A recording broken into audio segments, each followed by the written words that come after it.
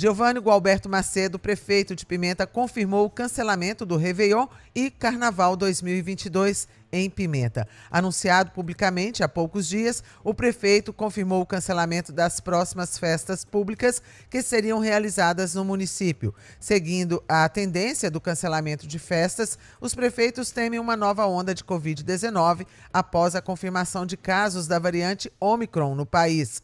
Giovanni lamentou Abre aspas. É com muito pesar que eu anuncio o cancelamento do Réveillon em Carnaval. Já estava pronto o cronograma do Réveillon em Carnaval e espero não ter que cancelar a exposição agropecuária.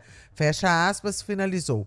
A pandemia de Covid-19 já deixou uma marca profunda e irreparável no município, e neste momento é preciso ter cautela. Foram um total de 22 vidas perdidas e, até o momento, 950 casos confirmados pela Secretaria Municipal de Saúde de Pimenta. Os dados dos boletins epidemiológicos diários mostram a evolução do vírus no segundo ano de pandemia.